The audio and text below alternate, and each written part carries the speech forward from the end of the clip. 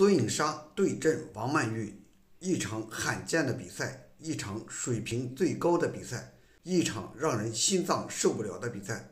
大家好，这里是大唐聊球，欢迎广大球迷点赞关注，谢谢大家。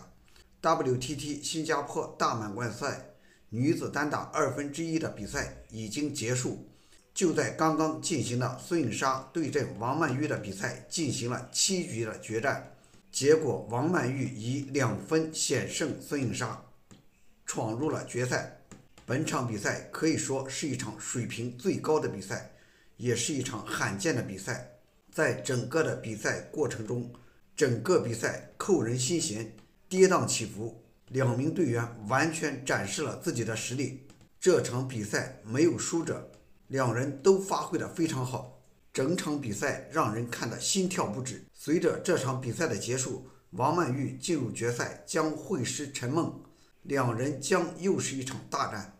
在本场比赛中，两人相互制约，都想尽办法发挥自己的长处。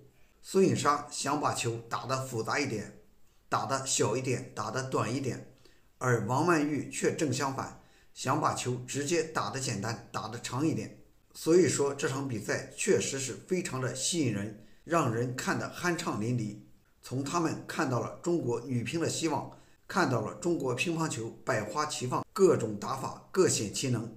他们为中国乒乓球的长盛不衰做出了贡献。因为本场比赛失利，孙颖莎将让出女乒世界排名第一的宝座。陈梦即使输掉比赛，也将重新夺回第一的位置。女单还有一场决赛，我们希望看到更加精彩激烈的比赛。感谢大家的收看，谢谢大家。